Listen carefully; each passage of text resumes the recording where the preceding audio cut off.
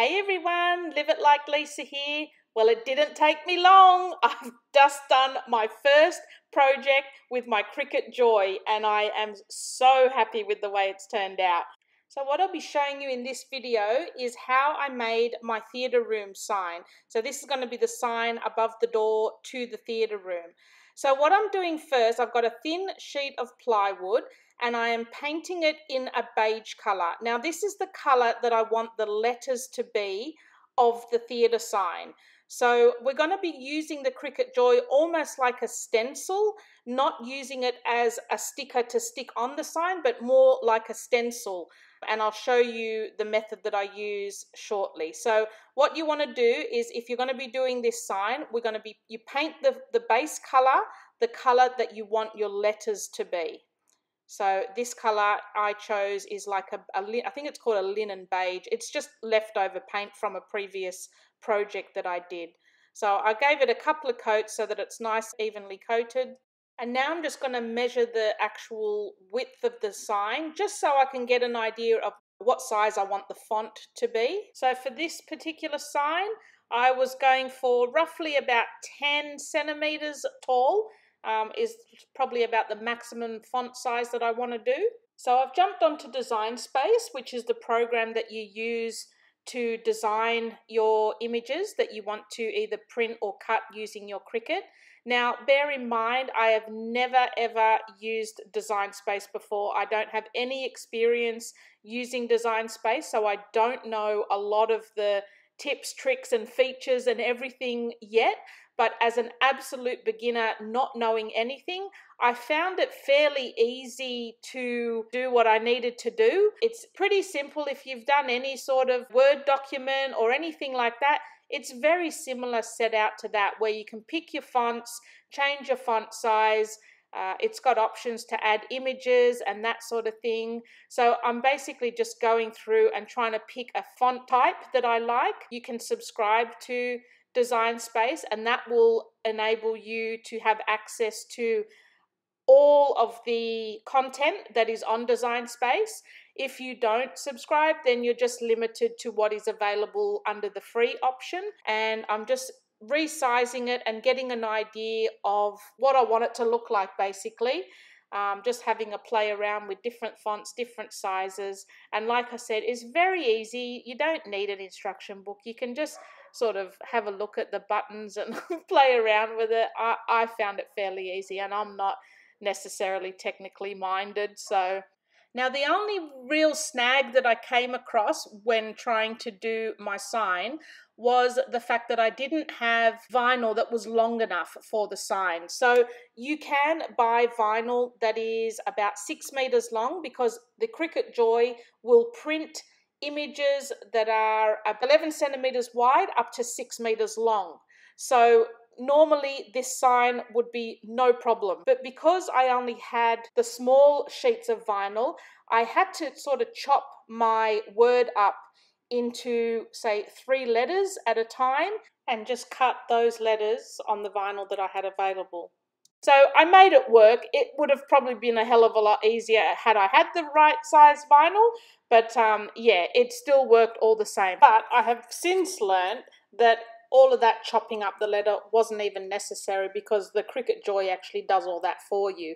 I just didn't notice it on the left hand side here where it shows you how it's going to cut your words. It will actually tell you, you put in the size of the vinyl that you have and it will actually put in how many sheets of vinyl you need and work out where the letters need to be on those sheets. So yeah, at the it, it's all a learning experience for me. And like I said, I still made it work doing my method, but obviously Cricut Joy has thought of all of that as well, and they already have the options for you to cut it if you don't have the correct size vinyl. If you've only got shorter sheets of vinyl. So yeah, like I said, I'm still learning, but we got there in the end. So now we're ready to cut.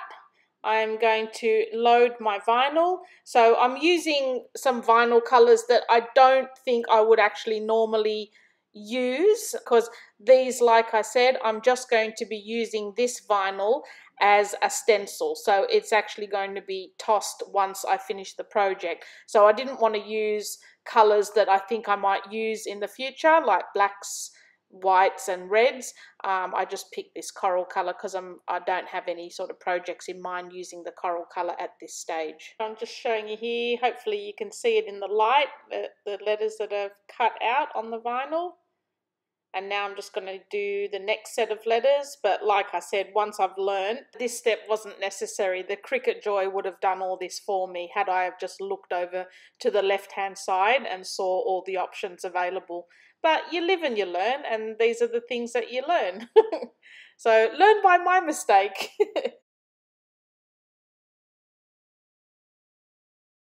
all right, so now that I've got all my letters cut, what I'm going to do now is remove all the excess vinyl from the backing sheet and then we're going to transfer these letters onto the wood. So um, you can see I'm very inexperienced in removing the backing tape. Oh wow, I probably should have edited that and made it look a lot more professional, but this is real, this is raw. This is me learning on camera. So yeah, I'm doing it to both of the um, both of the set of letters so that then I can space them out on the sign and get an idea of where I want them to sit and make sure that I've got it fairly even on both sides of the sign. And I'm just weeding out all the excess um, vinyl in between all the letters as well. And this comes off really easy, just peel it off. Okay, so what I'm doing now is using the transfer tape. I'm just cutting a piece off to fit the size of uh, the letter piece that I have there. And this transfer tape is reusable, so you can use it more than once. I think it remains fairly sticky as long as you replace the, the backing of it each time after you've used it.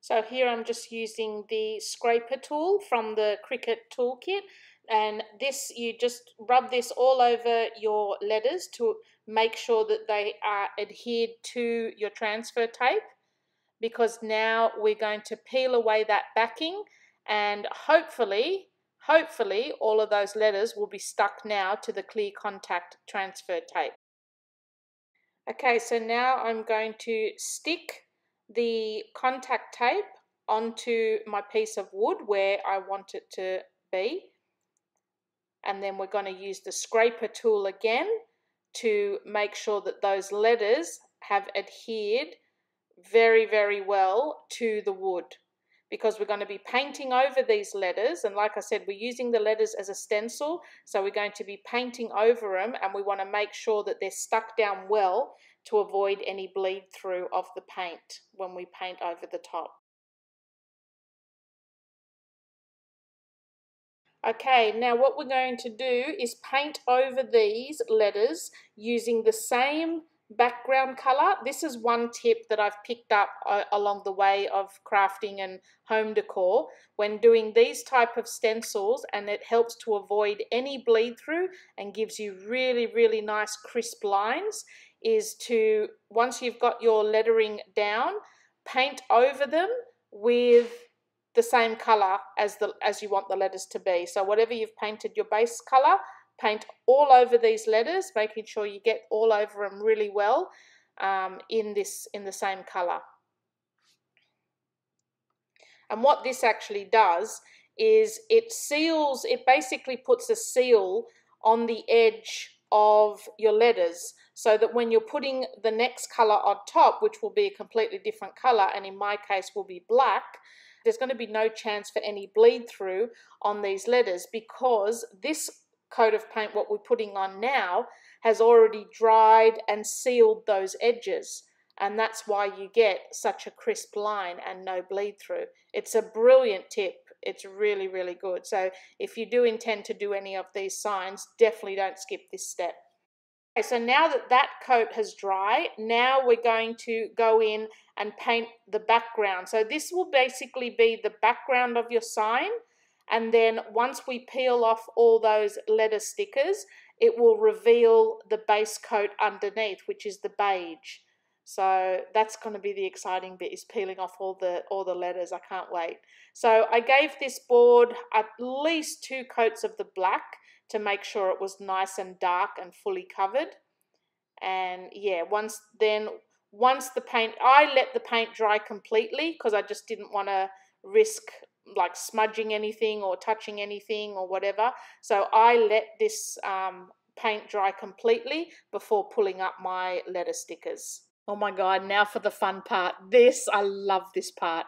Okay, so just using my little weeding tool, I'm going to pick up the stickers of the vinyl letters. And this is why I say, so we're not actually using the vinyl as the design, we're just using it as a stencil. So um, yeah, it's going to reveal those letters underneath. How good is that? And look how crisp the lines are. Like no bleed through, no nothing. It's perfect. So, oh my God, how exciting. I'll speed it up so you get the nice dramatic effect.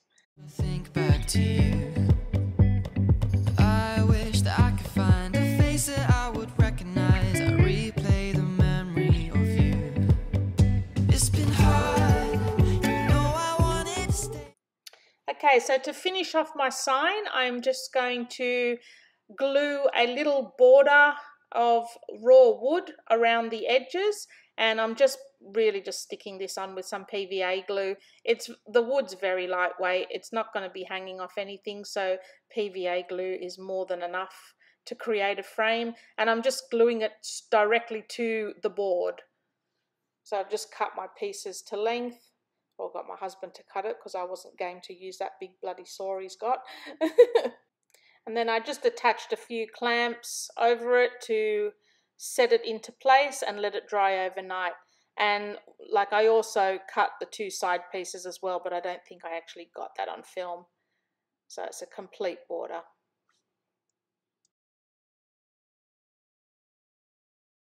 Okay, so we've got my theatre sign here. I must admit, I am absolutely over the moon with how this has turned out. So, to finish this off, now I wasn't originally going to do this. I was going to leave the wood raw, but as you can see, when I clamped it, it stained some of the wood and this is not coming off. So what I might do is just do a little bit of a stain on this wood now to darken it up to try and cover up those marks a little bit. If you don't have any actual wood stain, what you can use is just some regular acrylic paint and diluted in water. And that makes a really good stain to wood. So I've just got here a little bit of this brown. I'll put it in here.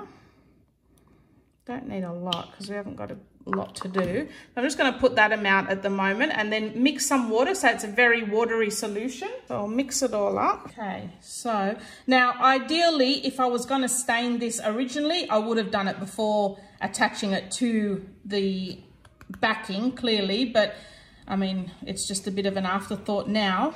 So we're just going to brush this on.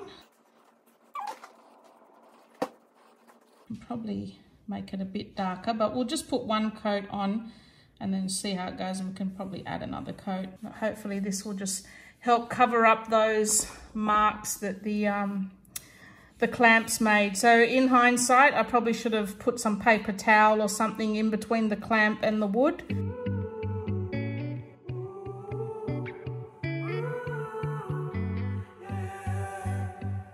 These skies